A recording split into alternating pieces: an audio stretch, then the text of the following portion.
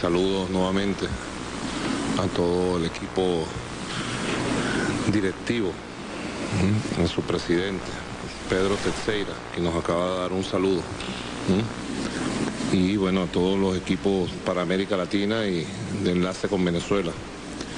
Eh, compañero Ramonet, siempre en la primera línea de vanguardia.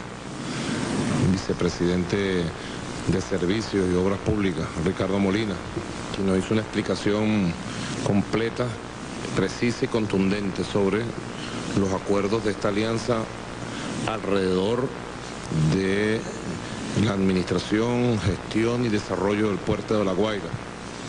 Ministro de Obras Públicas, almirante Salazar Col, compañera vicepresidenta política y ministra de la presidencia.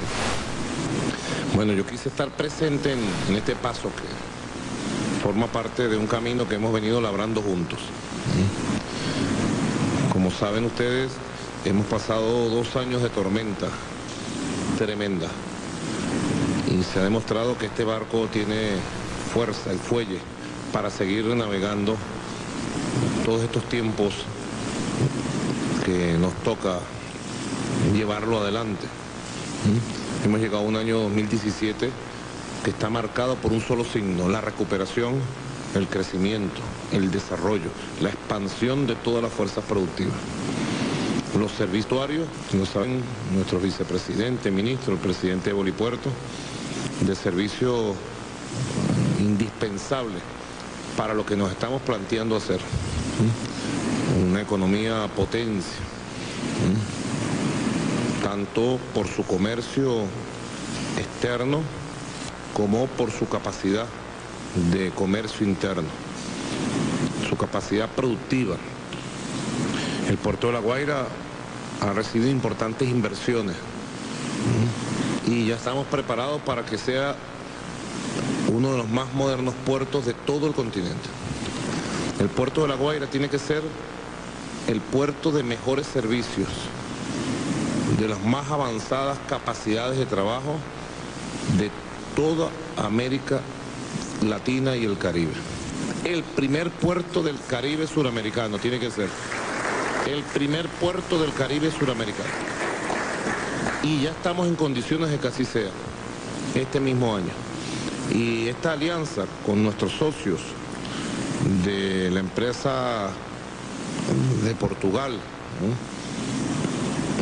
Aprovecho para enviarle un saludo al presidente, al primer ministro de Portugal, al pueblo de Portugal, a toda la comunidad portuguesa en Venezuela. Y a seguir siempre, siempre, siempre extendiendo nuestras manos para el trabajo. Esta alianza con esta importantísima empresa, Teixeira Duarte, tiene ese objetivo. Ganar, ganar, pero con una meta central que vamos a lograr y este año tiene que haber victorias tempranas, que es convertir el puerto de La Guaira en el primer puerto del Caribe suramericano. Tenemos con qué, sabemos hacerlo y queremos hacerlo. Así que esta alianza en el puerto además es un punto sólido para el desarrollo de otros proyectos para que juntos vayamos al desarrollo de otros proyectos dentro de nuestro país. También el campo de las obras públicas, el campo de los servicios públicos. Así como somos capaces de recibir eh, y hacer alianzas estrechas, estratégicas con empresas internacionales de países hermanos como Portugal, también yo sigo ratificando el mensaje de trabajo y de alianza estrecha, productiva por Venezuela a todos los empresarios de Venezuela. A todos los empresarios, del tamaño que sean, desde los que están empezando hoy con pequeños emprendimientos de diversos signos, hasta los más grandes empresarios que pueda haber. Un solo objetivo, que Venezuela se levante, que Venezuela se expanda, que Venezuela desarrolle sus fuerzas productivas desarrollar una economía que genere riqueza, que genere nuevas fuentes de riqueza, una economía integrada.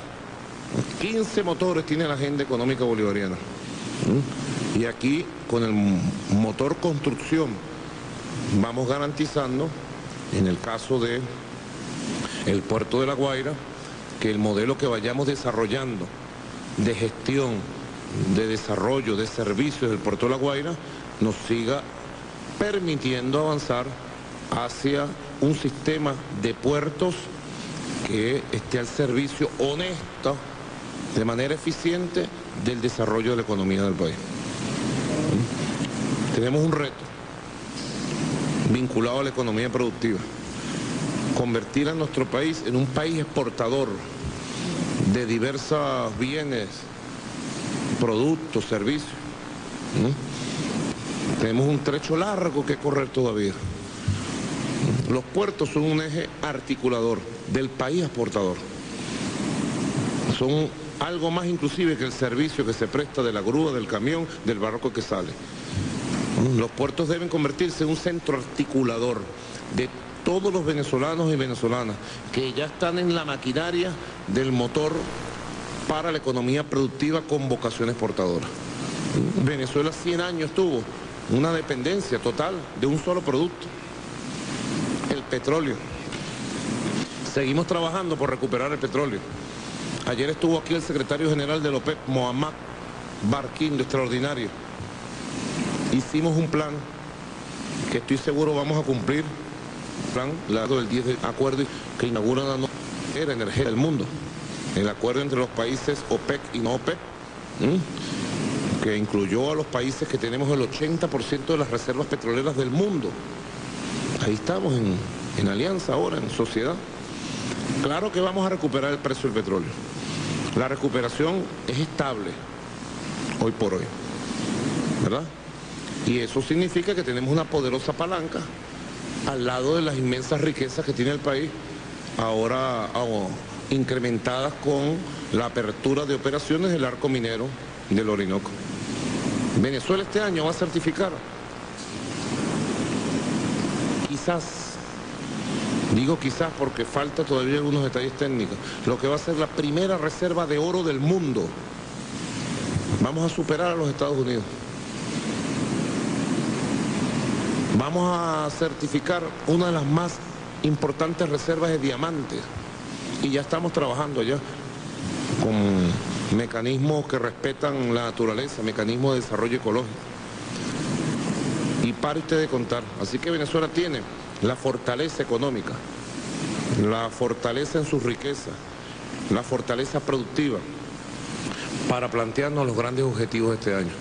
Y el año está amaneciendo temprano y creo que es una muy buena señal que hayamos ratificado este camino que iniciamos con el comandante Chávez en el año 2008 y tenga Teixeira Duarte la seguridad absoluta que tiene un socio sólido en la República Bolivariana de Venezuela en el gobierno bolivariano y vamos a seguir avanzando en el puerto de La Guaira para convertirlo en el primer puerto del Caribe suramericano y en todos los demás proyectos que tenemos a nivel de obra pública, aprovechando la inmensa experiencia y capacidad constructiva que tiene esta empresa portuguesa que tiene estándares mundiales de primer nivel.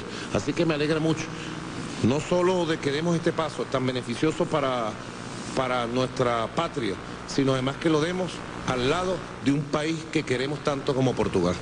Siempre bienvenido, Terceira Duarte. Muchas gracias.